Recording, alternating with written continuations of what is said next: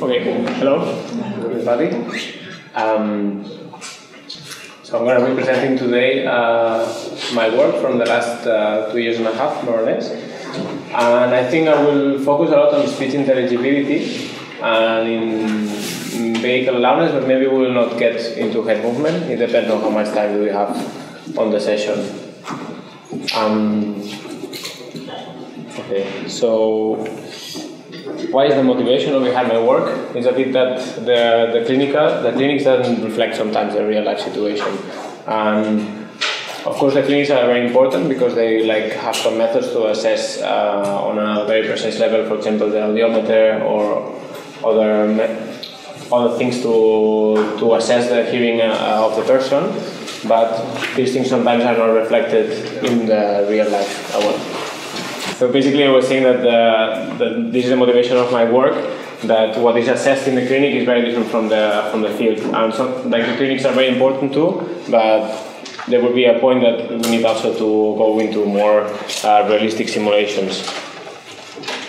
And specifically, for example, the speech intelligibility is only assessed with audio only, and it's actually multimodal. And I put just a picture of a, of a, a soccer match where the guy is covering his mouth so people cannot lip read what he's saying. Of course, also the body posture or the gestures might indicate his intentions, but uh, if you cannot hear or lip read, then it's difficult to get uh, the message.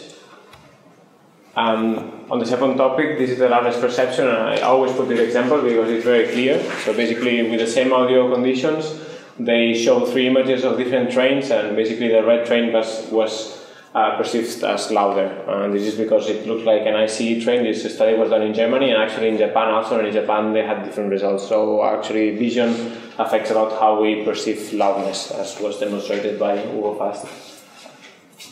And also, this is an interesting study for other people if you want to work more in this in this loudness. That, for example, that they've made some barriers on the on the train and they try to show what happens if the barriers are transparent or they are completely solid and if you don't see the trains coming back or so you don't see the object making the noise, it seems that it was perceived louder in this case. And this is the part of the head and the gaze that basically the head movement and the and the hearing uh, is interacts a lot. And basically in the clinics usually this is not taken into account and it can be that for example there's uh, like these two publications that talk about like uh, directional microphones that they actually perform well in the lab, but when they go into the field, they don't perform perform well because basically the people is not turning the head towards the the, the, the source or the visual source. And actually, this also for future generations of hearing aids that they might include EEG. There's already in the market. Uh, I think that you can have hearing aids with EEG, and some also future directions also in our lab with. Um, with hearing aids that use gaze to steer where you're looking at. There's other presentations that uh, show how, how this can be done, that you can actually get it from inside the ear, the, the gaze. So this is a bit my, my work or my background is a bit on, on, on visual uh, technologies and basically it's how do you go from one place to the other or what are the effects if we are in, the, in this kind of clinical on, audio only test when do we move to to have more like a more realistic or immersive simulations. So what what happens with the perception? And I will be talking about these topics. As I said before maybe this gaze and head behavior and preference of uh, displays I will not talk about if we don't have time but I will focus a lot on the first two.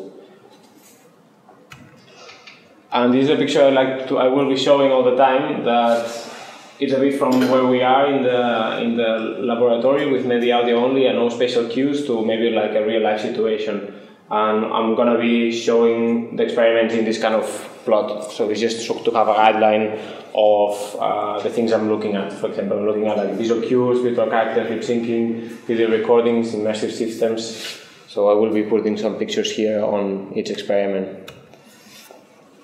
So basically, these are the, the three parts that I talked before. And the first part it was about the audiovisual OLSA. So I will. This is a matrix sentence test. I will explain what it is. Um, basically, and then the second one is the loudness perception, vehicle loudness. So we have like a street and some cars going by, and then people rated this. And the last one that's like graded out, but it's basically a person listening to different conversations and seeing how this person moves the head. And this is also a work that's been done by Marge. Um, and basically, we try to see what happens when you don't have visual cues and when you have, and what happens with the head and gaze behavior. Mm. Okay, so what is the matrix sentence test? I think that everybody knows what it is, but maybe I will just uh, remind what it is. Basically, the subject is presented sentences of five words, and for each category, there's like a noun, verb, quantity, adjective, and object. There are 10 possible words, so in total, there's 50 words that you can have in this test. Okay, and then like uh, you can make list of 15 sentences, 20 or 30, and in total there are like 150 unique sentences that they made. Actually, if you have these kind of combinations, you can have a lot of a lot of sentences, but they just reduced it into a subset of 150 sentences. Um, question: 15 sentences is rather is it should it read 10 or why 15? This the list yeah. of yeah, it's just an example. For example, you can have like. Yeah, then because if you have 10 sentences, you can have them balanced. Okay, like balance, what balance? That all words in the uh, in the matrix are used in each list. Okay, in each list. And uh, okay. for each multiples of 10, that is So the, the lists normally mm. are only in, in, multiples of 10. And I wonder if this 50 is just an example or anything. No, it's just, an, it's just an example okay. because we're talking about, for example, well, the, the advantage of the, of the matrix sentence test over other tests, well, there are other tests that also have these properties, is that you can do consecutive lists. So it's a test that is useful when you have different conditions and you want to test several conditions, you can have one condition after the other. And people cannot, well, they learn the subset of words, the 50 words, but they cannot predict which word will come. And obviously, like if you do a list of, of 10, then of course, maybe all the words come in, but usually it's used to do like several, several lists. Actually, there are only uh, three audiovisual matrix sentence tests, as far as I know. One came out in 2019 in September, and the others in 2016. Um, but I will be maybe talking when I talk about the uh, the expected results. Okay, so there are different strategies to, to record this material. No, one like they did in, in New Zealand, they recorded the all the material. So the audio and the visual material they recorded because they didn't have the material, and and they recorded together the speaker, uh, the visual speaker, and the audio.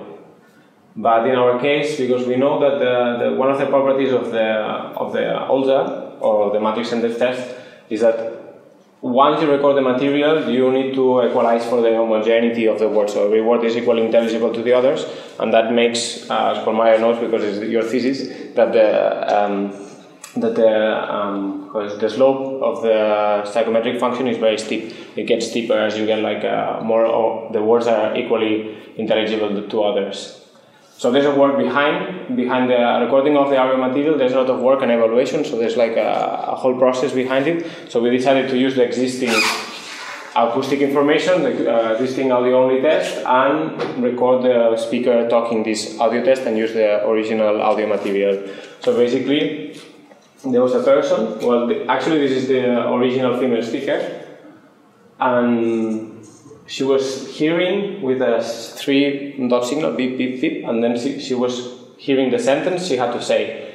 So she was hearing three signals, beep, beep, beep, then Peter Kauf uh, for example, and then she was repeating these sentences, and this was like done uh, three times, for example, per sentence. This was recorded here in the in the Oldenburg Center, and the good thing that why we use this method is that the audio signal that we were playing on the ear of the of the speaker was also sent to the camera, and then this way we could synchronize the video recording with the with the audio that was being played back on the ear.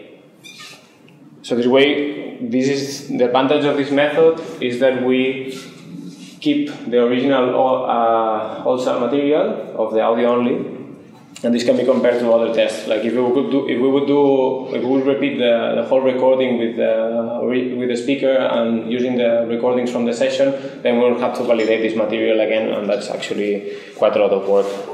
There's actually uh, like the people that did this in the the um, audiovisual in the New New Zealand. It's like a whole PhD thesis to do all these evaluation methods and the recording.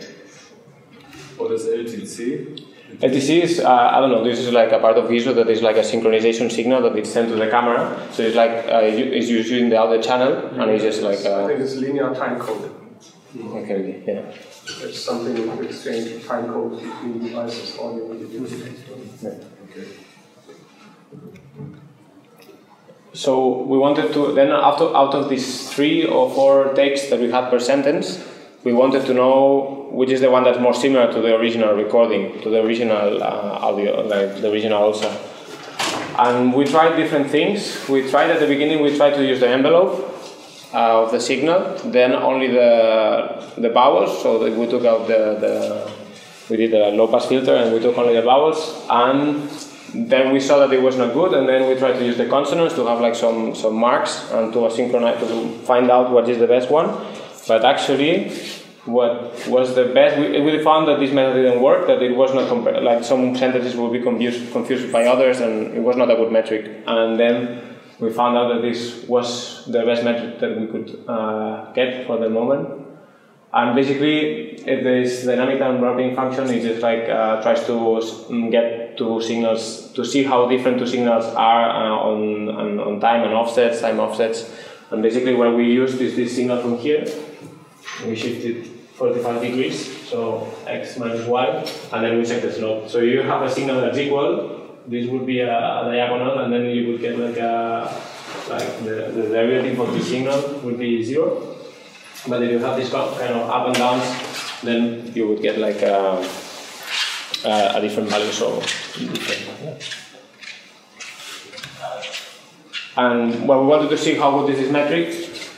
And basically, for example, this is from the same signal shifted on time, and you can see that more or less at 100 milliseconds, there's uh, this this gets like a 42 or 43 value, and this is with our same recorded sentences and other recorded, recorded sentences. So we made a comparison, and basically they all fall around like 20, and if you check in on other sentences, they go around 50. So basically, from this group here, then we selected the best sentences. So it was like the metric we used, and of course the, the speaker when he was, she was like uh, listening and talking, there are different asynchronies. It can be that there's an offset that the word starts earlier or finishes later. It can also be that it's spoken faster or slower. So it's not just like shifting the signal that you will adjust it. You have to have some kind of uh, metric. That's why we use this uh, dynamic time warping function. So uh, just uh, Yeah. Because I didn't understand it, um, to the left you have um, the RMS after the dynamic time warping. Well, this is like- the, the one that has been recorded um, uh, in the original recordings and the one, the best sentence spoken by the speaker in the audiovisual mode, or is it is the audiovisual mode mapped on each other? So actually, I cannot tell you exactly about this plot because this was done by Frederica, and it was like uh, last week I was checking the scripts about this, and I have to keep going with it. I had to do this presentation, so I didn't have time, and it's something that now I'm writing the paper and I'm going to here. But basically, here I think that she was comparing like maybe the three recorded sentences that they were, they were comparing against each other. And then this was compared to the other sentences. But the problem that we use for The this same means the same sentence? The or same sentence. The same token of the sentence. So the, the same words, but different recordings. Okay, Yes. different recorded. Yes. So basically, when we use when we used It it, is a different recorded sentences means different sentences, that also different words. yes, different words. Sorry that the plot is not very clear, but basically this is like the same sentence, and these are different sentences. And then we compare it, and uh, we can see that they're actually different. And we, if we use the other metrics like checking the envelope or the envelope of the of the consonants, this plot was looking very differently. It was very confused. So here actually you can make a nice line. And I also, This was uh, computed the same way, this uh, on the same metric, so to speak, uh, just on delayed on the left side. I mean, so it was just delayed copies, and Yes. they, they computed the same metric. So this this uh, Yeah, this is the same metric as here. Yes. And this is comparing what happens if you delay the same signal, if the same signal you time shift it. yeah. So and if you time. assume basically that uh, 10 milliseconds is something that is So the left is the one from Bashkent, or yeah.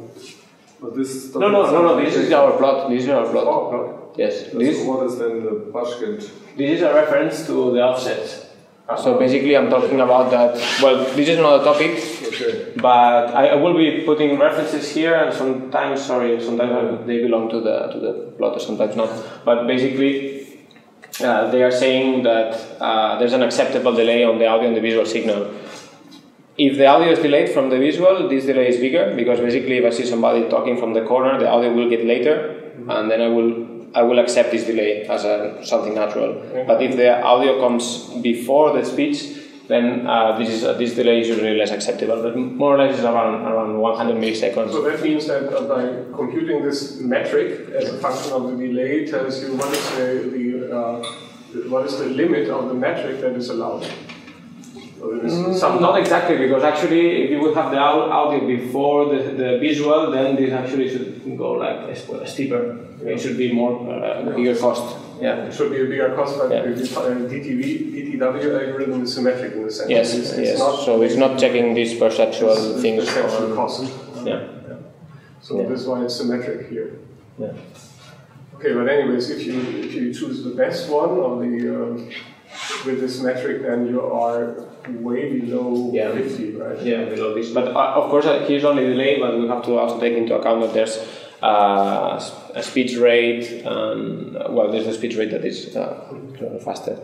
And we used, actually, here I didn't tell it, I think, it's not shown here, that uh, we didn't use the, the signal itself, we used the spectrogram, the MEL spectrogram on the MEL scale. So we didn't use the, the signal itself, but we used like a spectrogram.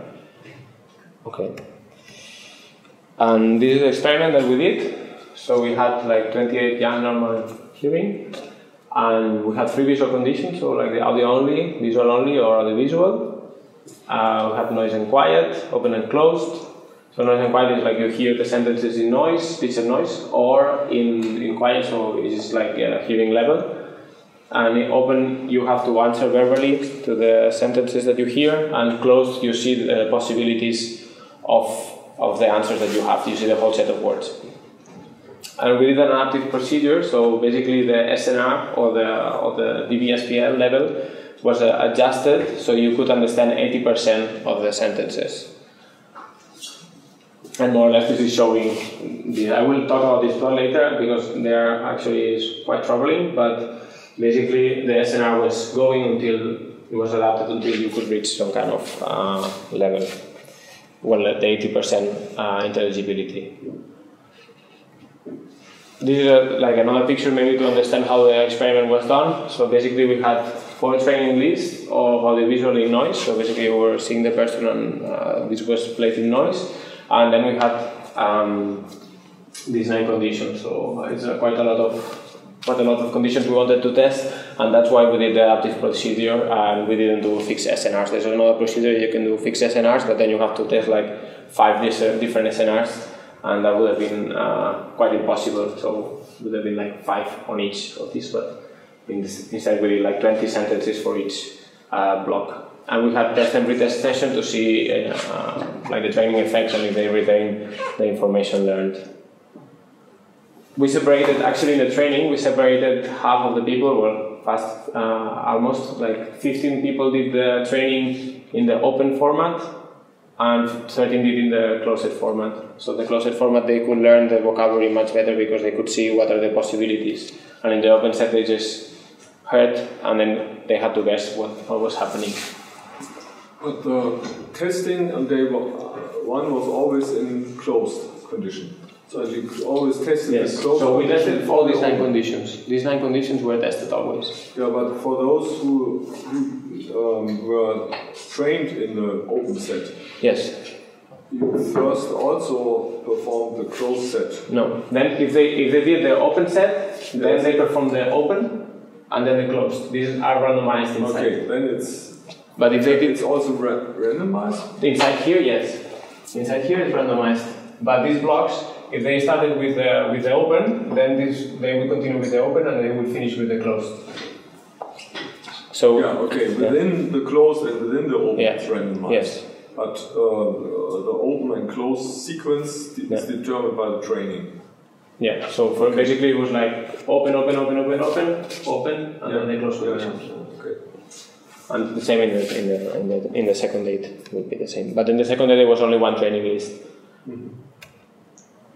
Okay, so this is what, what we would expect from the literature. Okay, so basically, I would expect that the training effects are greater than in the audio only, because basically, well, learning to lip read is like a controversial because there are like publications that say that yes, you can learn, others are not, but one says that you can get familiarized with the speaker because the training was done with audio and visual. You can basically uh, learn how the speaker pronounces the words and what sounds come from there. And also, I would expect like a minus 4 to 6 dB SNR improvement from the audio only. And uh, actually, this is interesting that the lip reading score, so basically just by looking at the picture, on average is 50%, and the people can reach from 80 to 90%. So basically, people can understand 80 to 90% of the words just by looking at the speaker. Of this, obviously, there are only 50 words that you can have, but it's quite impressive that the people can do this. It depends on the language and depends on if you have dubbing on the TV or not. I don't know, this, this is in Malay, so this is in a language that I cannot say anything, and this was in Dutch. Yeah, and that was for the digit triplets, was it? No, this is like the multi-sentence text also. Okay, because Yamaludin says were of the digit triplet. And yes, and auditory, uh, auditory visual multi-sentence test in Malay. Yeah, the people, the people that did more work on this, there are like six master, master theses on the New Zealand multi-sentence test. They recorded the auditory visual, but they actually never evaluated it. At least I didn't find it. So there are a lot of work talking about the auditory visual multi-sentence test, but they never evaluated uh, the, the test. They only the audio only, which is actually why we use the original audio only because it takes a lot of work to prepare the audio only material. Um, okay, so maybe I will show you the uh, the experiment uh, with lip reading only because the audio is, is too low. So we'll just do this and we'll do some like maybe five sentences. okay, who could get something? Dosen. Rote Dosen. Rote Dosen. Rote Dosen. Okay. Peter. Peter? Okay. Immer raten. Wir müssen was. Acht. Acht hier. Okay, genau.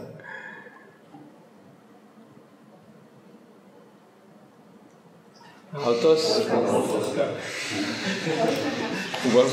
No? Okay, so the people, actually the range of lip syncing is very big. I will show you with it correctly this tool. Uh, wait, I will close this. And let's see if we did it correctly. So the were, this one was quite okay, Wolfgang, and the other was Doris. And we only got those, and so. Yeah. Well, basically, this would be the bit the, lip reading only, and it's funny because uh, there's a big distribution. So there's people that got like six percent, and then people that got like eighty percent, eighty-four percent. So this is actually a very important fact for the uh, the OLSA because it depends a lot on your lip reading skills. I will show you later, like the correlation. So the, I was targeting an 80% the audiovisual test, so audio and visual, but people that just with the visual modality could already achieve 80%. And actually, this created uh, because it was an adaptive procedure, so the, basically the uh, speech was getting lower and lower. They created like an SNR of 62 dB, for example, in one extreme case. And out of these 28, seven subjects scored below 0 dB SPL, so no sound pressure, and also below minus 22 dB SNR. I brought this number here of minus 22 dB SNR because, um, according to literature, I mean, there's different literature, but according to the literature, more or less it will be the level where speech cannot be detected from from from this kind of signal. So this obviously there's people that deal with white noise and speech, and with consonants or with words or with syllables but uh, more or less I think that the, the, ratio would be around minus 22, minus 20, minus 25 dB SNR would be the place where you cannot detect that there's a speech signal in, in, the, uh, in the SNR. So, but then it looks that, that it would be better to target 50%, not... Well, if you target 50%, the people, all these people from here, above 50%, they would just use the visual modality and the audio modality would get down until you get like values like minus 62 dB SNR as a result. Okay. Yeah. So these are yes. It's called, cause even more. Yeah, even Yeah, higher. It's just the So other. we- we- the other direction. Okay. Question: uh, These um, subjects, um, do you did you select them No, no. somehow, or did you just pick random? We just pick them randomly. And even randomly picking people, you get some people which- who can Yeah. do such because, uh, for example, at television or at the broadcast, Yeah. people talk like this Yeah. because there are people who can read lips so Yeah. well that they can do a, a live transcription. ist ein Anfang Yeah, yeah, sorry, yeah, but uh, Yeah, I mean it's a very interesting topic. Lip reading also is interesting that people don't know how good they are. So this actually indicates that it's like a process that is not conscious. No, it's like you see somebody speaking when moving the lips, and you get what they said, but you're not one hundred percent sure. Uh, there's actually a lot of literature talking about this, but for the audiovisual OLSA it's important to know this fact because it will change your results. So basically, this is the picture you saw before about the adaptive procedure, and I made this line at minus 22 dB SNR, and basically you have like some people that actually are falling into this audiovisual range, so they're actually using the audio and the visual and they're combining it. But you have also a group of people that they're- they are just lip reading, they are getting just the lip reading results. And it's funny because obviously this, some of these results I'm showing here are after training for lists like uh, 80 sentences, so they get better. But there was a subject, for example, that he from the first he or she from the first sentence got below this level. So from the first uh, trial, for the first 20 sentences, he was already below uh, the audiovisual threshold. Using the closed or the open test? This is all, all the open and closed. This is mixed here. Okay. Yeah, I didn't is, is separate. there any consistent difference? Because I would assume that Hmm? if you have the closed test, you might be better. I will show. I will show in the next slides. I will show in the adaptive procedure. Because some information is elderly people are better in hearing or hearing therapy, or is it the same for normal hearing? Well, basically, one of the things in literature they say that the older you get, the worse you get in lipreading. So, so it's just like uh, a degenerative. Like the older you get, the worse you are in lipreading, and then there's this. Of, of course, like if you're like a CI patient, since you were young, probably you develop these skills.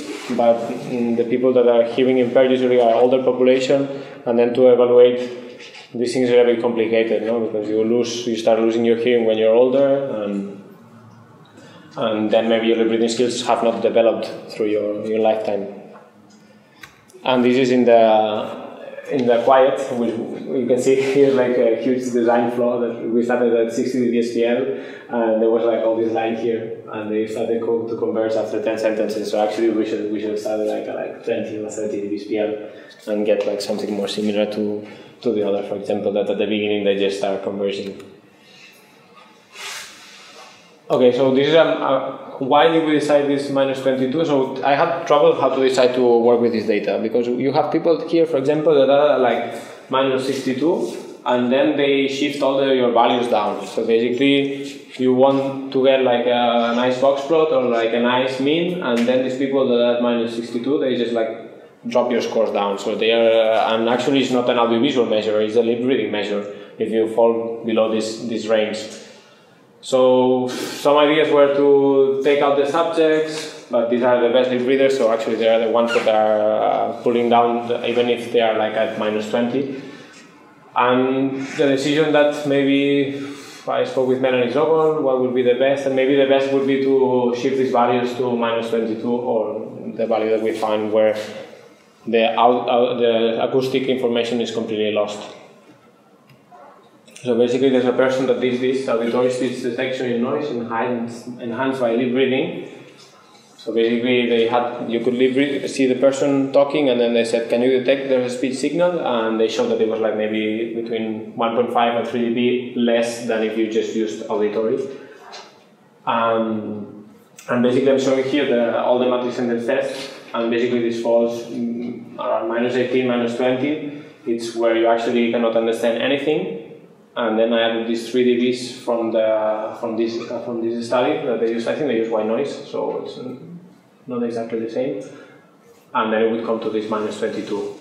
And actually, uh, 10% of the data was modified out of the whole data, so it was about 10%. So it's not a lot of data, but it change, and it doesn't change a lot your plots, but it just makes more sense to have these values limited as a threshold.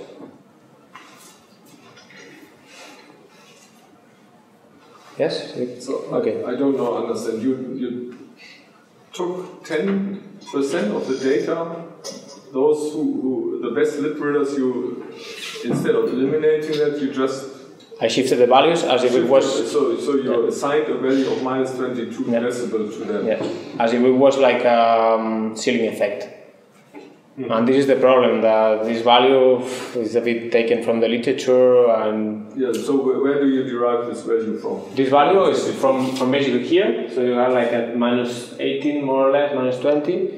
You don't understand any word. Mm-hmm. And these people showed that if you have the visual part and you have also like a speech masked by noise, you can detect it 3 dBs less than there would be the speech detection. There's also literature that is saying, saying, telling you that if you are 50 speech intelligibility, you should go, uh, someone is 8 or 10, you should go 10 dBs less on the SNR, and then you would get the, the place where you cannot detect that there's a speech. So this was the value that roughly I took from different literature, but obviously it's not done with the matrix sentence test, it's not done with the speech-shaped noise, it's not a female speaker. Obviously there's like a, this number can be discussed a, a lot because it's a number I just took. Uh, you know that we have a paper where we measured for exactly the sentence material speech detection threshold. Which one? We have uh, from Schubotz, 2016. Yeah. Ah, okay. The speech detection threshold. It's also in there. Ah, okay, so you could, I will write you an email later because this will be really good. Use Google. Also, we started, uh, started discussing using other measures like uh, some D prime or so additivity of D primes from audio and vision. So all of this kind of measures could also be used somehow. Um, but Do you know which value were you getting? No, that I don't. I first thought that's maybe that. I thought it was a little bit lower, but I don't. remember. Okay. But somewhere in that area. Okay, so probably we'll use that value and then I will do like 3 dB less because if you have the visual information, you can also retrieve more, you can detect better the speech. That's actually what they were showing in this paper. So the idea would be to put it at uh, speech detection threshold. And a bit lower because you have the visual information that helps you retrieve this acoustic information or detect it. Yeah.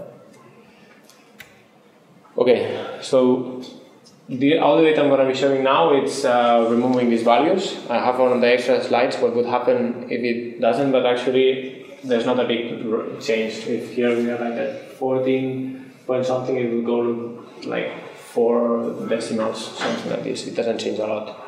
So basically, showing the training effects. This is very important. Actually, in the paper from the Dutch audiovisual audiovisual matrix sentence test, they said that they didn't find any training effects. I don't know. Uh, so basically, after all this training, there's like 4 dB, which is quite a, quite a big uh, step, and 3.7 for the closet. So this is the open and closet differences. So actually, there's like a quite a jump. And it's interesting that from a different date, so this is a different date, they retained their abilities. So if you train them, it can happen that uh, on a separate date, this improvement of like from 8.7 to 12, so almost 3 dBs, is retained from one test to the other.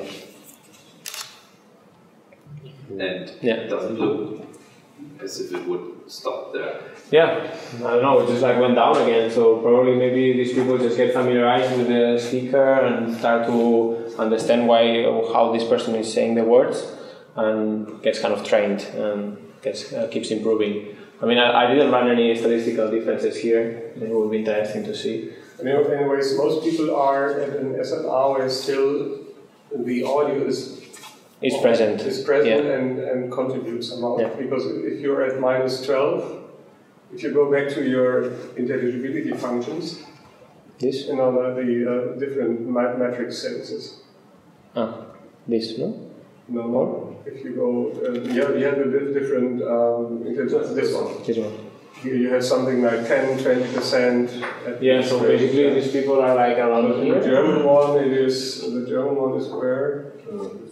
Here is like here. But the female is at 10. So female is not shown here, but female is shown here. But actually we're checking at the 80. So the 80 is here, so all this line will be shifted here. Yes. Yeah. So But if you assume, for example, you, you present just the audio without the visuals mm-hmm. at, at the same SNR, you would end, end up at, at 10, 10 15% intelligibility. Mm-hmm. yeah. So that means there is, for those, for example, who have 50% word scoring um, in, in visual only, so you have 50% from, from the visuals and you have 10% from the, from the audio, and then the sum would be 60, but you have 80. So that means there is some audiovisual interaction, and I wonder whether we could, for example, using this uh, D prime measures, uh, show this interaction somehow, that you get more than just an addition of the scores. But this, of course, depends on the lip reading ability of the individual Yeah. subject. Okay, so training effects shown. No questions? What is the effect on the closed? It's like one and a half dB, something like that. No, like two dBs, yeah. Two dB, Yeah, oh, which is rather significant, I would say. yeah, it's a, a big difference. Astonishingly, in the German uh, matrix test, there was no open-closed difference for, I will show, for yeah. um, audio only. So basically here. So basically this is the audio only, open and close. So you see that there's no difference. And also your data. Yes, this is my data, The original one. yeah, Okay. So And- that reproduces that. I, se- I segregated in this plot, I segregated the people that was trained with the open and that was trained with the closed. So actually this group from here is only 30 people and this one is 15 people because I think there could be differences on the people that was trained with the closed and the open. Uh, there's a, I have also extra slides showing that there could be like the people that was trained in closed and then did the open performed differently than the people that was trained in one or the other. But actually, uh, for example, in the quiet, I didn't find this effect, so I just grouped them together, all the 28 subjects. And actually, it's like strange that there's actually like very big standard deviation. Yeah, so there's a benefit of 4.5 more or less, and in the and, uh, in quiet conditions, there's a benefit of 7 dB SPL. So the training is uh, in the visual part. Yes, only training in visual. So we did only training in audio visual because they also could uh, have the speech if they were not good lip readers. Makes sense because this is what you are not used to, maybe, Hmm. or many people if you pick them randomly, and then they start using learning the cues that are easily available, but which they don't use, Hmm. Yeah. not used beforehand. Interesting. Having a close that makes uh, learning easier. Yeah. Yes, because you have the limited sentences, so I guess you will Some learn faster. better, better than others you know, in, in, in that Large, learning. much larger. And here you see that the values are cut at, at minus 22. You see these values are cut here, and also at 0 dB SPL there. Did they get feedback? No, no, no, they didn't know if they were performing good or bad. I would expect when they get feedback, they learn even faster, no? yeah. Okay, so here I made four plots. It can be like a bit confusing if you put them like bam, uh, all at the same time, but you have like the below you have the SRT. Okay, these values that I've been showing all the time on this column, and here the lip reading score. Okay, so I separated good and bad breeders according to the ones that could achieve values below the minus 22 or the 0 dB SPL. Okay, and what I want to show is that this is the audiovisual noise closed. So basically, this condition is the one that they trained. Okay, they trained this condition a lot, and you can see that there's a strong correlation with the lip reading scores and the values that they got. But if you go, for example, to the quiet condition in closed and, and open, these good lip readers are like confused with the other people. So it seems that maybe the people that trained in this condition, then they, they got like this mm, good correlation there, but in the other conditions they were just mixed with the other group of people. So, So uh, is the uh, SRT in this condition, Yeah. the quiet condition, still measured with this long initial adaptive track, yeah, not not with a uh, lower starting. no, no, no. So then the, uh, you may have a big bias in the SRT. because of the, the starting. If you because have of the conversion. starting yeah. phase, mm. you have a long starting phase and not so many trials left for the yeah. remainder. Then you have a bias towards, um, and I this bias may, I mean, it can be uh, seen destroy um, some of the effects that you can but see. it's still 10 sentences, it's a 20 sentence list, right? So yeah, I mean, it's 10, like more 10 sentences in this, in the range of, uh, of yeah. maybe. I might have people, for example, that they would actually start to get better and fall into the lip reading section. Mm. This could happen, for example. Actually, if I, for example, I think if I did 30 sentences, for example, here instead of here instead of uh, like 20 30 there might be people that actually might drop even down and go into the lip reading section like it happened here also but this is true as a good point no but still you have um, probably only 10 sentences left for testing mm. SRT 80 in quiet which gives you much larger scatter there also mm. you have the background uh, in, in, quiet um, it's not a very stable condition and there we know that the SRTs mm. have larger uh, spread mm. in yeah. uh, um, audio only SRTs. Mm. So could be, yeah, could be. It's just maybe just the effect of the larger spread in the, mm. um, in no. the audio condition. Yeah.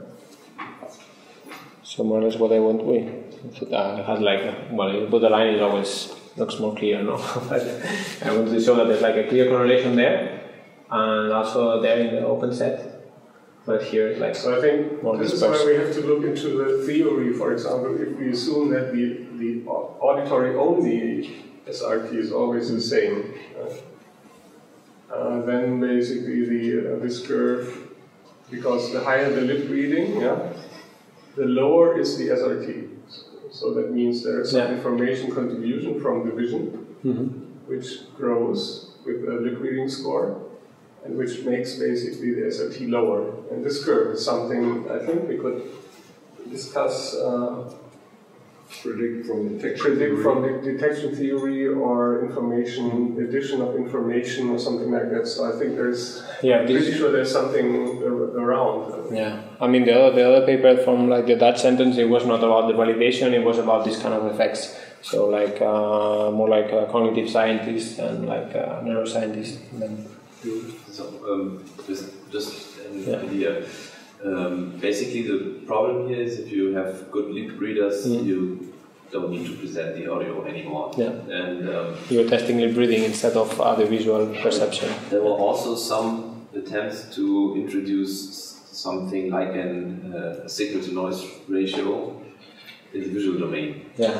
Uh, so yeah, actually, yeah, actually, there is the other point that you can also like mask the blur the yeah, mouth and use different kernels to blur the yeah. image, or you could add yeah. really noise to it, yeah. and uh, also use the same uh, idea like in the audio domain that you mm. uh, find uh, to produce a visual which is for many people similar in. Mm.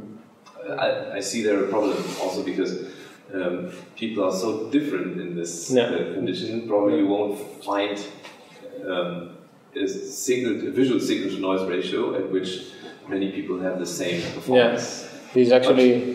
But, but what we want to do here is we want to know something about the hearing related function of an individual, which is uh, speech recognition and, and audiovisual domain. Mm-hmm. And so the information that a specific individual is a good lip reader is relevant, also with respect to uh, hearing aid uh, provision and mm-hmm. hearing aid function. And it has ne- never been basically assessed. And this basically this tool allows an assessment of, of uh, basically the, the lip reading ability mm.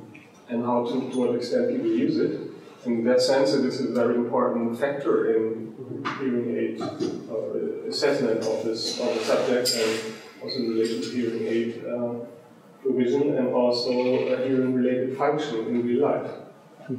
In that sense, I think, okay, you have, you have this as a result. Of course, it, it means that if your reading is, uh, ability is so good that the audio doesn't matter, and you can still say, okay, I do an addition one uh, just audio only test to check um, audio-only based speech reception, but yet in, in real life, basically, uh, it may not be so important anymore in noise pollution. Because this, this, this person has a very good ability. But now here you are in a kind of pitfall in respect to that the uh, matrix tests have this learning effect. And uh, you have this learning effect on both sides, on the audio side as well as on the visual side. And so therefore you, it, it's really hard to distinguish. Um, because if you extend the training, you probably get more and more people into this lip reading Mm-hmm. area Yeah. and or even improves the audio vision interaction. Mm-hmm. And um, but maybe you have as well an extension of the audio training giving some better results. So it's maybe hard to, to get this all uh, in, in the matrix test. I mean, I think that like here plays a lot of like cognitive scientists and like models that you can do with this. Like for example, why in noise they have this correlation but not in quiet? Is it the same to lip reading noise and to lip reading quiet? Yeah, questions that come there. And actually, we have like only we recorded us to the male speaker. We didn't evaluate it, and the male speaker was like a guy that was like 40s, 50s, and had like a beard and maybe it's also very difficult to read, so it also depends on the speaker that you put there. And, and also on the visual conditions. In real life, you have maybe not the perfect light that you have there, or people are talking with several people and then they look at you sometimes, but sometimes they look in another direction and you don't know if it works still the same. Hmm. The Yes, speaker yes, okay. talker looks in another direction. There's a paper about this that is like if you look 30 degrees, if you look 30 degrees away from the mouth, you can still get like the same speech intelligibility. So I could be talking to you there and I could still lip read. But uh, you said the face of the speaker turns Yeah, yeah. on the sideways. I think there was also a paper talking about this that if you see it from the side, how it is. Yeah. Um, I have another question. The um, blue points are the good lip readers, Yes. But they score not better in lip reading than the bad lip readers. So, uh, what uh, is what conditions were used to classify them? So these are the people that in the visual tests they fell below 0 dB SPL or minus 22 dB SNR. So- Visual only. No, like the other in the in this like this. So I will show. So for example, these people here are the good readers. The people that scored below this other visual domain. In in noise. Yes, Audio. in noise and in quiet. In noise and in quiet. So for example, these people that are here in zero, these are the people that were shifted. That were below zero the SPL. Yeah, but uh, I'm wondering that there's uh, uh, That is on the right side. Is one If you go more to the right, there are uh, some people who are good lip readers. Yeah, like so these to guys here, no, for example. Yeah, yeah, poor bit, uh, lip readers that do better in the uh, in the Yeah. lip reading in visual only than the good lip readers in the audio visual. There actually was a bit range of variation. There was like like twenty percent standard deviation from the means of this, like the scores that they get in visual only. So it can also be that they they have like a big variability on the ratings at the end. I mean, I didn't check if the lists are visually balanced, for example, or the words are visually balanced.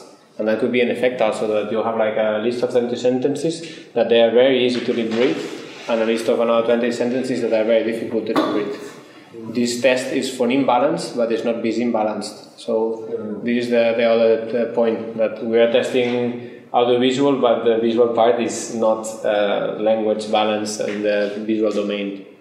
And you can have like big ranges of people. Yeah, but Yeah. still, this is, is uh, uh, it looks as if you have a specific ability to use audiovisual cues, other than and that you uh, this does not predict how good you could use visual cues alone.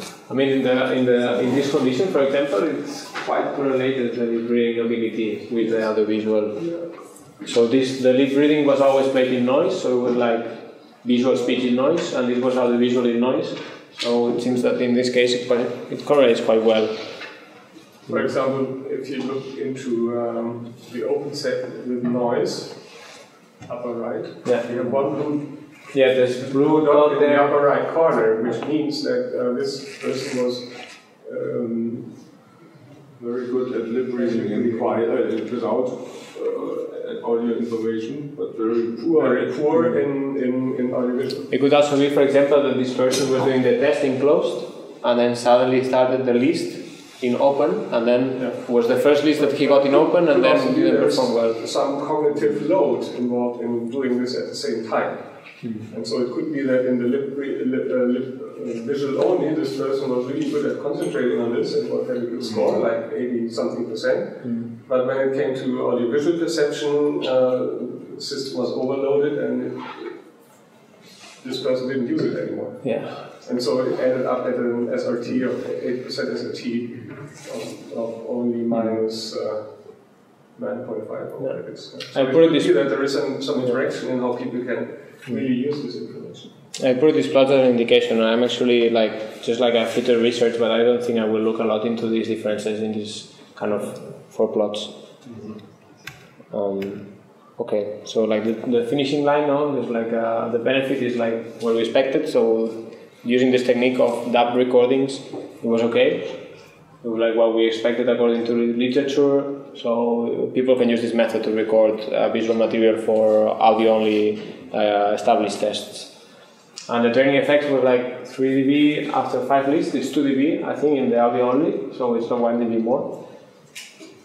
And the lip reading, they have like a floor effect, so the average lip reading score was 50%. So if you test at different SNRs, there's always going to be like this 50% or like the lip reading score. And there's also like a ceiling effect, so if you have an adaptive procedure, they, and they will go and they go over your target, then you get these scores that go below the hearing range and also you have like the, the, the, there's a big range of other visual scores compared to the, the audio only. So the audio only, the box plot looks very nice, like all, everybody in the same place.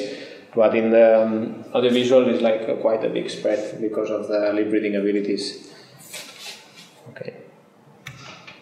And actually, we did another experiment. We tested the lip syncing from that uh, we are using in the lab, and there was no benefit at all. This was a bit sad because uh, we were expecting that at least there would be like one or two dBs, but it was like uh, no improvement. So here you have like the plot with the audio only, the lip reading, and the speech synchronization, and the and the audiovisual condition. And we started testing this at 50, and then we saw that the people were getting the ceiling effect, and then we switched to 80% intelligibility. So, this is again the matrix test. Yes, this is the matrix test, it's another experiment. So actually, these are What does other. web-based lip sync then mean? Uh, it's the lip syncing, we're using the gesture lab. I didn't know what name to put it. Using these animated characters Yeah. with our uh, low delay real time automatic lip sync Yeah. method. Okay, so not the, the, the dubbing subject, No. but rather the, The dubbing is this, this, the this one. talking head. Dubbing, The- is one talking head, this one. Yes, so this is talking head, this, this virtual character. real time talking head. Yeah, so there was no benefit, which is was a bit sad, but it's what it is. And then, like, also, if you want to follow it, I think that I have like a poster in this word confusion in noise and quiet. So what happens uh, like in noise, word confusion in noise, and I think uh, maybe I will write something about the differences between noise and quiet, and the confusion. One question in these animations, which information is encoded in the lip movements? Oof, that's another talk. Just to have an idea, because So basically, it's very simple. You get the spectrogram, the power, uh, the power of the spectrogram, and then you have like you use the formants in a way like the vocal tract model. So basically, you have like uh, you get this shape, and then you say for A, for example, you will have like a first formant Okay. at 3000 and the other like I don't know 4000 and then you have like the E you have like a drop on the second formant you have like first and third formant are big and then uh, O it would be like a quite a, an U would be like the first and second will be quite low so then with this information of the shape of the of the spectrogram you can try to guess what positions are they, are they and if you have like for example a periodic signal it means it's a vowel so it's voiced and if you have like a like a white noise signal it's an F or a sh so in, in theory, Yeah. it does contain the part of the speech Yes. uh, information, and it could be possible theoretically to use it, but people cannot use it by presenting it in this Yeah. way. Okay. Yeah, so it's using the speech. It's, It's yeah. better than uh, the Dots movies. okay, yes, yes. It's related to the speech signal. It is that. Yeah. That's true. Yeah. But it's Yeah. not good enough to support uh, audiovisual speech. Yeah. Yeah. And so the, the, the idea is now to move on and uh, do another PhD using machine learning into that. But did people also rate how natural they find this animation? Ah, no. No, no. Or from your own experience, could, could you tell it's different to the Well, there are there are two main issues. There are two main issues. I mean, Gisos seems that wants to say something. I think so in Maartje's, in this AV study, actually they rated it in March study. And they compared it much, or they rated it much better than it was when it's just, just in sinusoidal movement. Okay, but how does it compare to the real recording? Obviously worse, Yeah. So you see that there was like an issue with this model with the M. M is a is a voiced sound, but the mouth is closed, and this was always interpreted as a vowel. It was always off, like open like that with the mouth. So yeah, like yeah, like an uh, like mm, it, the mm is a voice sound, and it's just like the to see it from the spectrogram. It's very difficult. That you is an M. So was the uh, mouth, the mouth opening, was it, uh, so how many parameters were used to control the mouth? Uh, three parameters: the mouth opening, Yeah, the uh, lips inside for making OU, and then you have the lips closed and the one a bit on top to make like a sound. And that was the three parameters, and they are combined together. So we make like ow, ah, we make this kind of movements, the mouth move. But obviously, for example, here there's like this model should account for the vocal tract length, for example, where the formants, um, there's the pitch of the person.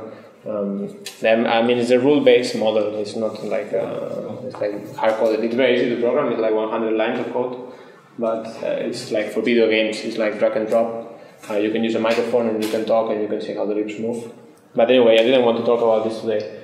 Um, you, you told us in, in, in this computer side or in this uh, video animation um, technology, 16 parameters are used, correct? yeah, it depends on the on the game engine and what they want to use. But si- there is 16 Hmm. parameters. Yeah, so we use three, so it's easy to model these characters. It was like a cheap solution. I did it like in a couple of weeks, and then I just took habit because I wanted to have like the person moving the mouth. So it's not something uh, elaborated, I would say, or state of the art. Um, yeah, so this is like a paper that's interesting that maybe I will write about this word confusion, noise and quiet. So what happens with the audiovisual when you put add visuals to the words, which ones are more intelligible than others. And this is the work from Sasha Evelings that she's doing listening effort in, with the matrix sentence test. And Anja Gieseler is also doing like audiovisual integration with uh, people, I think.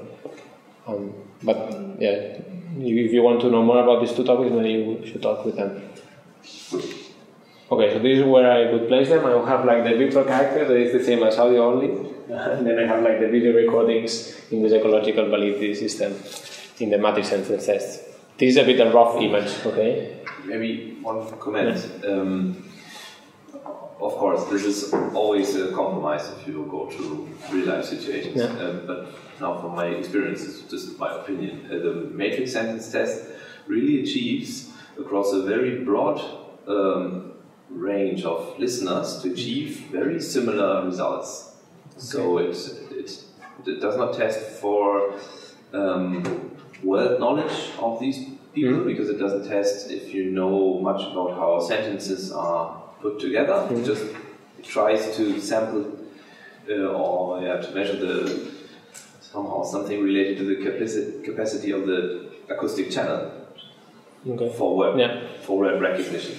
And um, if we start introducing very individual factors, um, for example, some, one would be some very complex language model, but another would be the lip reading um, uh, recognition performance. yeah, yeah. Then you measure two things at the same time, and then you don't know anymore Which one is Yeah. which? Yeah, that's the issue. Yeah.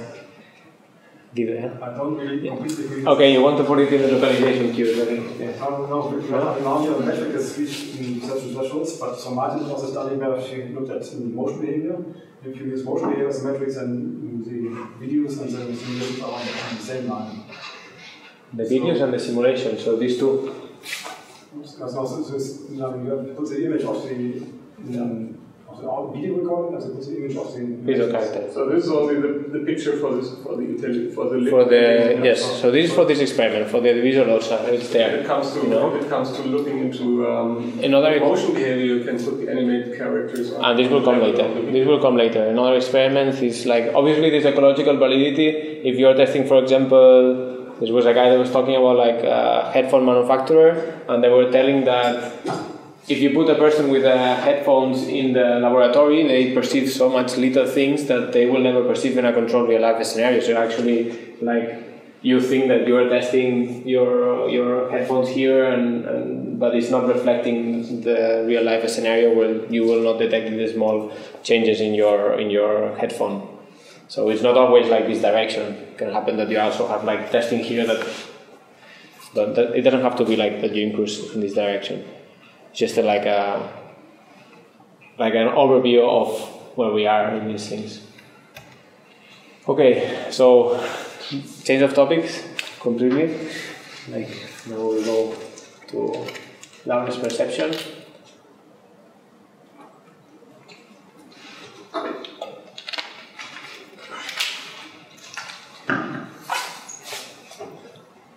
Okay, so different motivation. Well, the motivation is always the same, no? The, the laboratory doesn't reflect the field situations.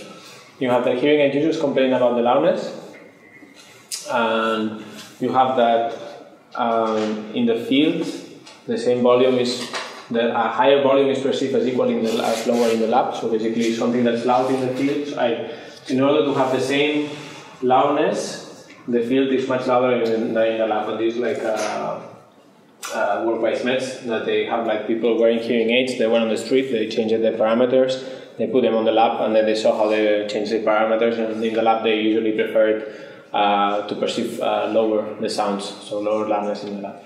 In the lab, yeah. And actually, this I spoke before about this rule of Fastl, but uh, about this that if you have like uh, audiovisual cues, the sounds are are perceived differently than in the audio only laboratory. And this, yeah. Okay, so it's the same as before. What do we need in the lab to make like the loudness perception similar as in the field?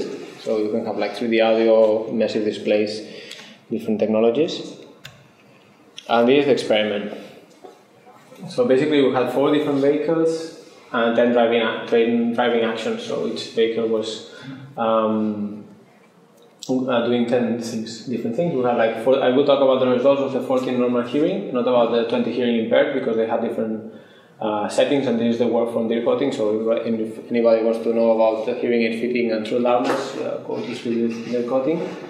And we measured two things, the loudness rating and the annoyance, and then we had like the conditions in the laboratory where it's just a screen, the head-mounted display, or a loudspeaker. And these were like uh, in mono, stereo, and stereo, like at 100. 120 degrees. This is just an overview. So these are the vehicles we used, and we recorded them with a tetrahedral microphone and a 360 degree camera. You can watch these these videos online. Maybe I put them so you get a better idea of what's going on. So this is what they were seeing. Okay, there was a car here, there was markers there showing the number they had to rate.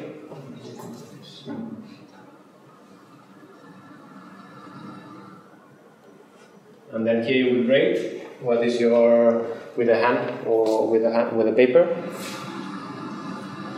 Then I will try. Okay. And here obviously this was recorded with a 360 degree camera.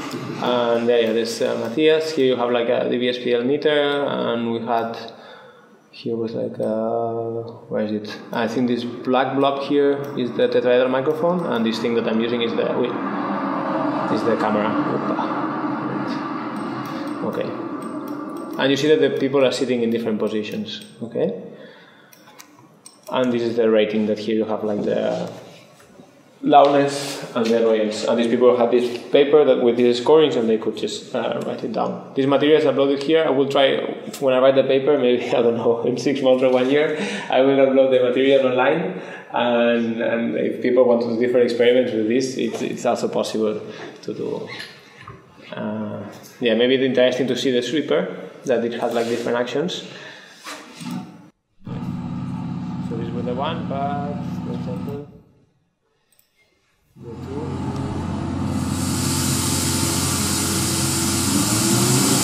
Okay, so it's quite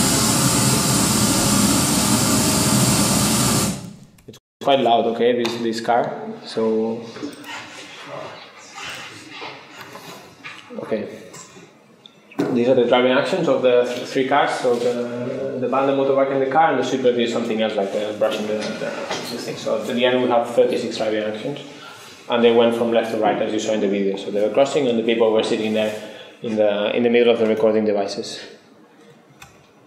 Uh, this is the scale that we use, the annoyance and the loudness scale. And these are the categorical units, is maybe something important to remember that I will showing this CU. So if you don't know what is CU, CU is loudness and it's this scale. And it goes from 0 and on 5, so from 0 to 50. Okay, uh, we had a test and retest, so we did every action twice for the normal hearing, and this is the score that I got with the loudness. I mean, loudness sometimes is a bit difficult, no? You have like a paper and they tell you how loud is this, so how loud would you rate is this room? I don't know. Or uh, how loud would you rate is like this scratching on the table? It's a bit subjective, no? But uh, this we could see that more or less the people were consistent on the ratings of the vehicles and the, how loud they were. And this, this is the distribution. I wanted to show this plot maybe to see that the, this is the, the dBSPL and the stimuli that we had that went from very soft, from 60, 55 dBSPL to up to like places like 95. So it was a like a, it covered quite a lot of range, but you can see that a lot of the, the vehicles they fall in this like 70, 90 dBSPL area. Mm. And this is like a it's fitted with a function, and more or less it is uh, this is taken from decoding, um, and it's more or less this kind of the loudness function usually follows this this line. This is in dB hearing level. This is dBSPL, so it's different different dB scales, but more or less there's like a shift up to a point with uh, loudness with uh, like average loudness, like I don't know at 80 or 75, it's usually like shifting up. Shift or a, or a curvature? What, what? The curvature, I mean, like the line is like going yeah, yeah, upwards. Okay, yeah, so you have a different slope at lower and at high. Yes, yes. Sorry for the wording. Usually, like hearing impaired, they would get like a line like this. Yeah. Yeah. And this is what is the problem why with hearing aids that they have to compensate for this loudness So you can see here already is that at high loudness, uh, le- uh, high levels where the loudness is high, also high, basically the curves are similar, but at low, Yeah, the problem is that here I don't have a lot of data at low. So basically, people were saying very soft for this, and actually we'll open discussion for this Yes. in the next slides. Um, so this is the discussion, okay? So basically, you have different loudness models that there's like a lot that they go to sones. Sones is the perceptual loudness value. It's similar to, uh, I mean, you get a similar scale to the dBSPL. Doesn't change so much. And then from sones, you have transformation formulas from people from Oldenburg that they say like if you have this sound, then it will be rated with this loudness, with this categorical unit of loudness. Um, but what if you include the bicycle? No, I mean the people were rating that the car was very soft, but if you include a bicycle, for example, a bicycle is softer than a car, so then the people would probably rate the car a bit louder. So it, it, it depends a lot. This loudness scaling depends a lot of the material that you use in your experiment, and that's why I don't want to use too much this this. Uh, maybe the loudness models, yes, but not these transformational formulas. For example, like this more or less with the sound scale, for example, transform the, the, the car, the, the values, and these are like the models, and this is what we got. And probably if you would include here a skateboard or a bicycle, all these values would shift up maybe to reach the model. So it depends a lot on the stimuli that you use. I mean, at the end, we didn't cover all the hearing range of the person. There was no sound that this was like uh, close to the hearing level. So using this, I would not. I don't want to look at this too much. Yeah, but, but that's clear for the loudness scaling, so to say, you, you, uh, you only get quotation mark valid results if you have the Yeah. whole range covered, which Yeah. uh, they have uh, the loudness scale has the property of a rubber scale. So you are somehow uh, you, you use the whole scale for the limited range of loudnesses or levels that you give to the subjects and so on. Yeah. This is the result. Yeah. Yeah. Can you say what's the background noise level in that field situation? I think it was like uh, 40 or 50. I don't remember. I mean, it, the good thing is that we can check it on the on the on the video, and then you can look at the thermometer. you can check. I don't know. Uh, I don't know which was the level, but sometimes there was wind and the trees were moving, so they were like this, this kind of sound. Sometimes there was no wind and there was no moving, so there were actually other things playing into account, like birds chirping, for example. It was everywhere happened when you do field experiment. But we were telling them to rate the loudness of the vehicles, so not the loudness of the whole scene. So also there was a, per- a person coughing, for example, in one of the videos. Um, so this is the loudness, the, the laboratory setup. As I told you, we have like these uh, three conditions. Uh, we uh, uh, make the same dBSPL levels right in the field. This was a bit difficult. There was like uh, 2 dB up and down differences with some stimuli. So uh, maybe the, lab, the laboratory effects or something. I don't know. Yeah. Okay. And the results are a bit disappointing because I would expect that the people rated the stimuli louder in the lab, and maybe they did, but they only did by half categorical unit, and there's like a huge range. And there's no apparent differences from like the going from audio only and using the head-mounted display and full immersion. So it was actually a bit disappointing these results. I was expecting to see like the head-mounted display to be the same as in the field and the other two to be perceived as much louder. But something we get is that that not everybody reacted the same way to the laboratory.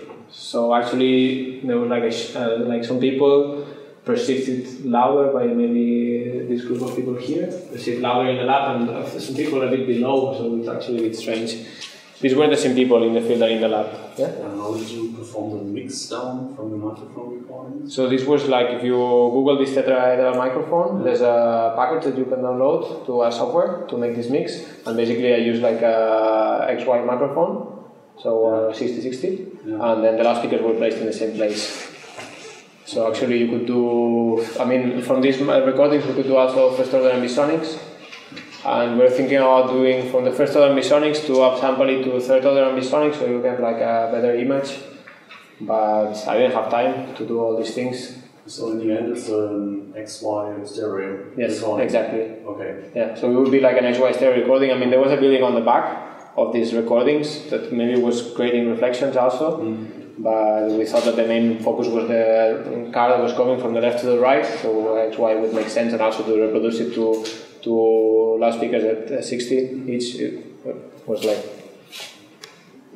yeah.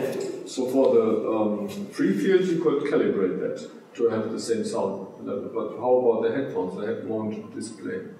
No, the, the headphone. There was no headphones in the head-mounted display. It was with Ah, it was always free field. Yeah, it was always the two loudspeakers at 60. Okay.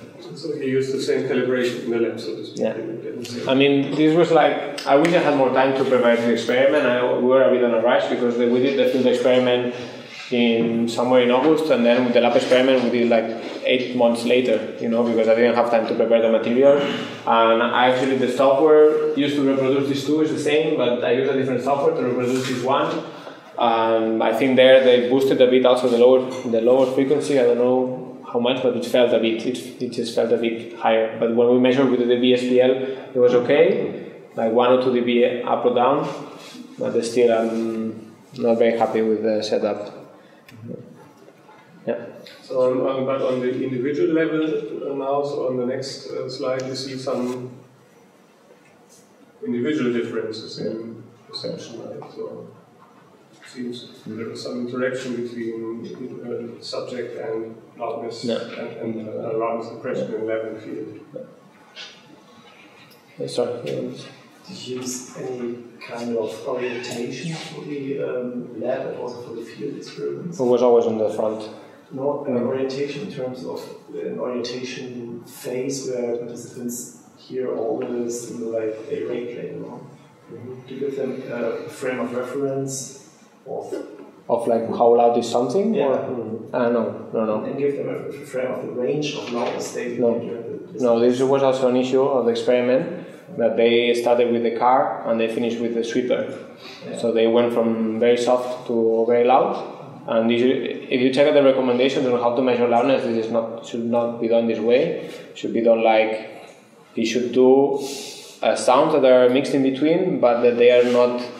Uh, the next sound is never like half of the scale, something like this. So you have a scale like this, you cannot make this sound and then this sound. You should make like a sound that is in the range on the half of the scale. But we didn't do this in the laboratory. We just wanted, uh, we thought about this to make this kind of like uh, mix the simulations and the, the use card and the sweeper. But at the end, these people were in the field. And we took these people and then we put them in the lab. So we wanted to keep all the effects of the order and everything. So that's that, and then I could compare directly how, what did they rate on the field? This. What did they rate on the lab? This. And then I get these plots. And this is actually quite safe because I use the same uh, order, the same, uh, yeah, the same of everything a bit. At the beginning of the section, you mentioned that the, uh, there are studies which show that the um, yeah, loudness in the lab is typically higher than outside uh, in the real world. Uh, but which level ranges did the studies use for the measurements? I'm not sure. I cannot tell you which level they use. I may have they used the whole range because here you started at a level which I would say it's typically in the lab at least something like medium loud, um, which of course will yeah include a lot of bias to some extent at least for, for this comparison.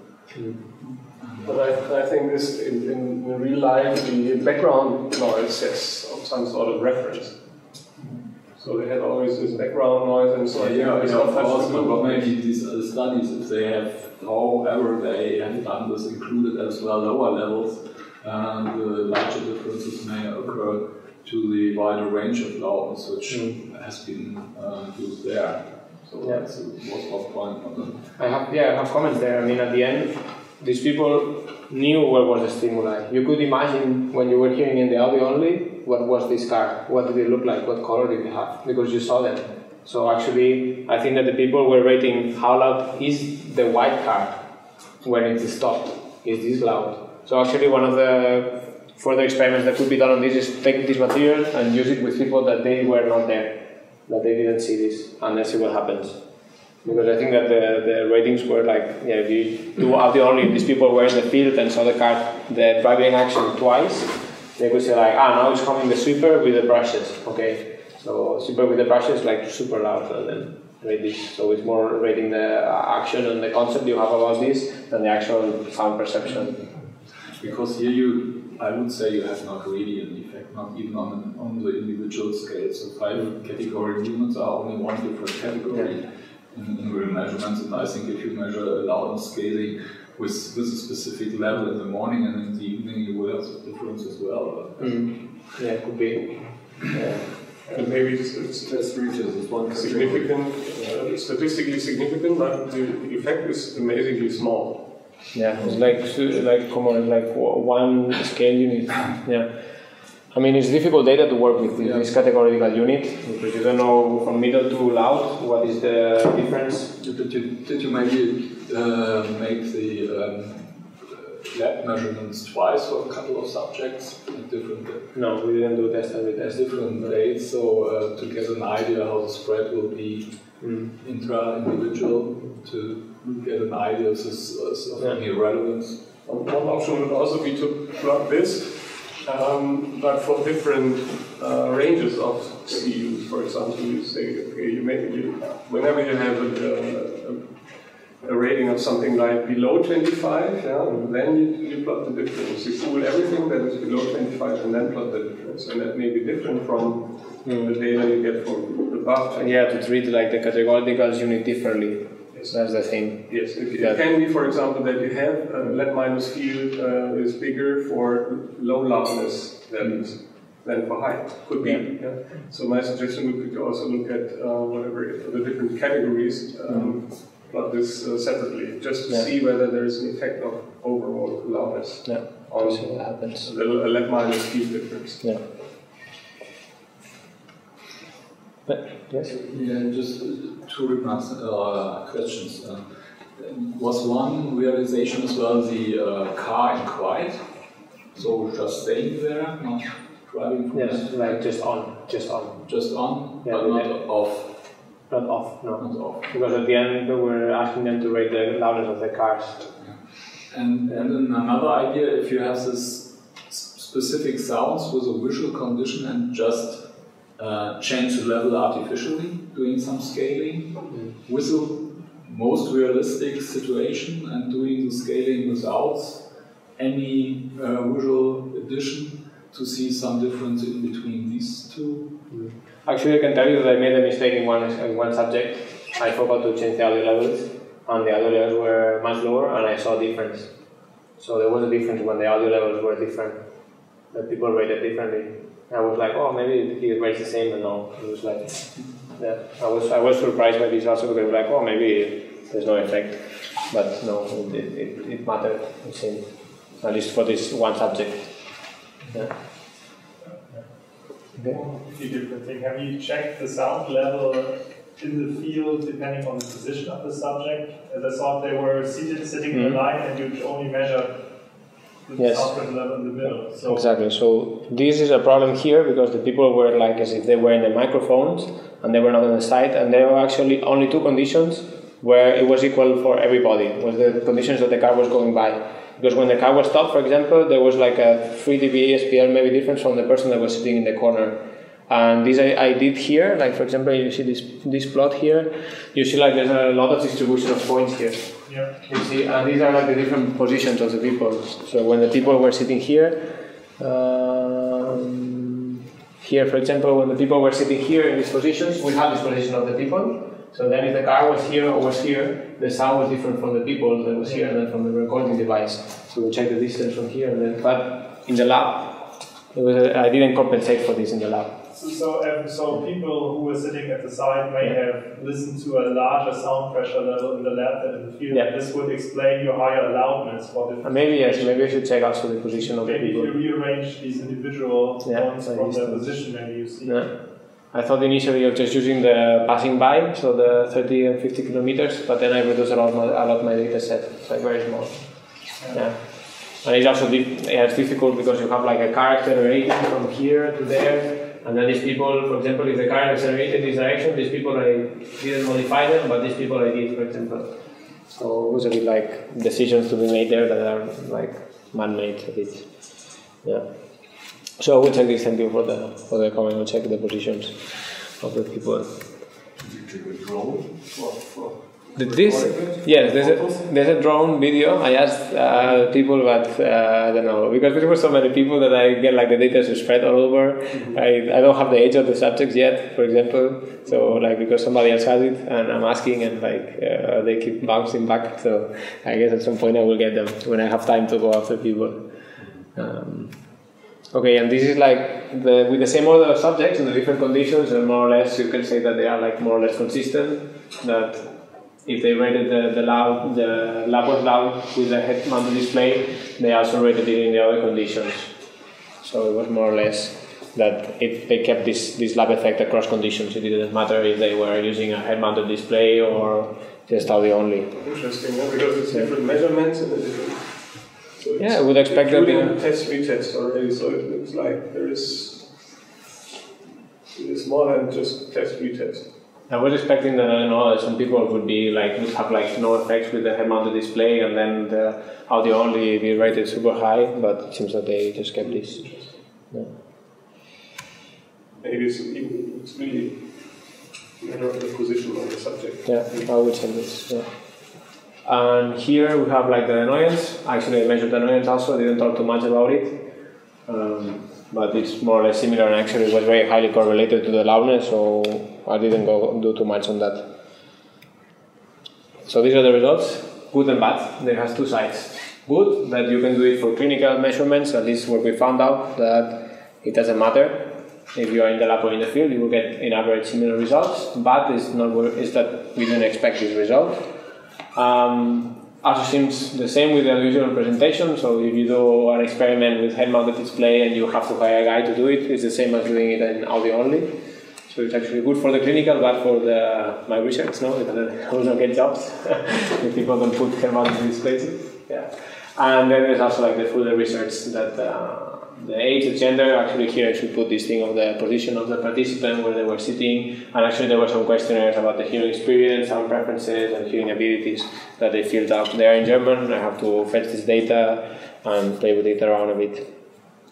And also these like future experiments, uh, the people that have not been in the, in the field, you know, if they will score similarly or they will have like different scores.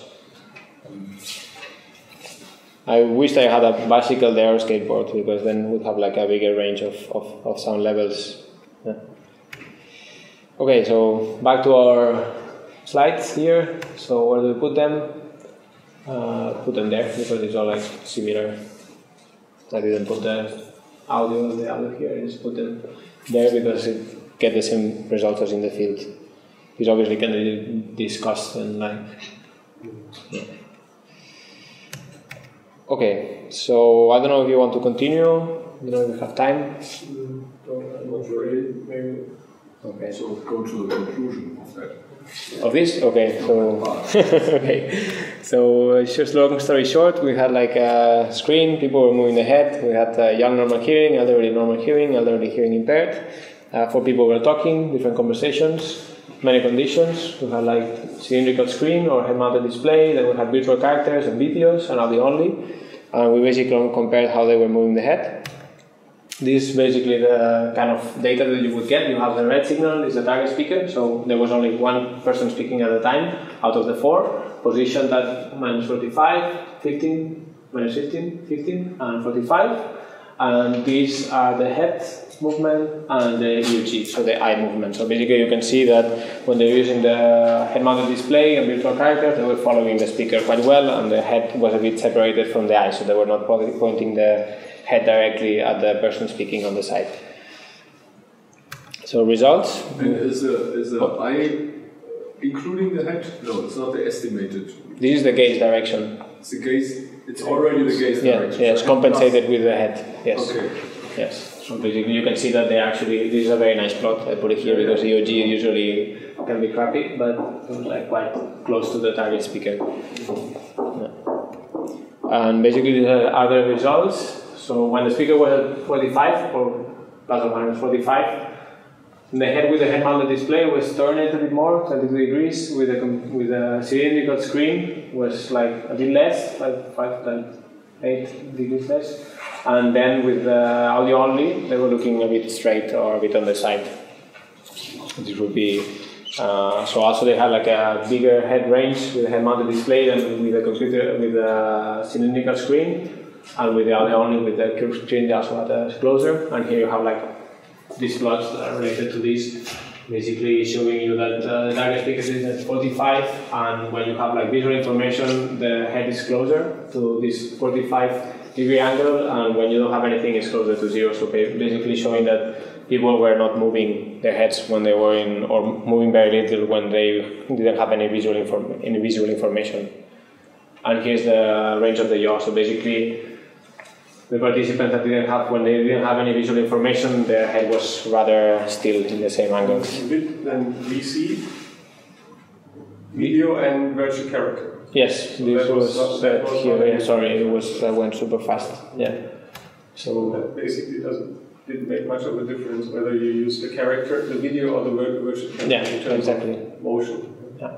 But the display had some influence, and also Yeah, basically the problem with the head-mounted display is that you have a reduced field of view instead of like a bigger one of 180, you have 110, and then you have to turn the head more towards to be clear to see clearly that this. I mean, one of the questions is if this actually affects hearing aid evaluation, this uh, degree difference. maybe not. Yeah, and this is the case, for example. So this is the target here, and you can see that uh, when they were like uh, video or characters, they were closer, and when they were audio, audio only, they were a bit more further away from the. They were not looking at the at the position of the speaker. Um, this is the preference. I separate the, the, the, elderly and the young, so I ask them which condition would you like to do in a next experiment. And basically, they mostly prefer the video, so they actually, the virtual characters don't have enough quality, or maybe they just like that there's more gestures and facial features. And the elderly preferred a bit more the cylindrical screen, but the young, for example, they had the mixed preference between the head mounted display and the 2D. So in the cylindrical screen. They didn't care too much if they use the cylindrical screen or the head-mounted display. Colors are different. Colors is all. Yeah, sorry, it's like done very fast. Yeah, because I didn't know if I would present this, so I went fast. Um, so conclusions: uh, cylindrical screen and the video recordings are better. Well, more ecological, I don't know, because we don't have any tests in the field. So we guess that they are more ecologically valid. And the head mount displays change the behavior, so they have like bigger turns. And the elderly also might prefer a bit more the cylindrical screen, although they don't reject the head mounted display. So if you have want to test the elderly with head mounted displays, you have to be careful. And that the video recordings are preferred uh, clearly. So we need to improve the virtual characters, make them nicer, so they are like a more equal uh, in preference. So the same plot as before, we place these people more or less, and we have like the cylindrical screen, the amount of display, the videos on the virtual characters, and here we have like the, well, this is not the room we used, but it's just like uh, nicer to represent a 3D display, 3D audio. Um, so 3D audio is less ecologically valid than the rest? In head, in head movement, at least, yeah. yeah but still we don't have the controlled real life scenario, the real life situation, so we don't know exactly. But it's according to the literature, you look at the person that you are listening to, so it's quite intuitive this result. Okay, so the end, I don't know, mm-hmm. bunch of pictures here, and this is like the the end. Okay.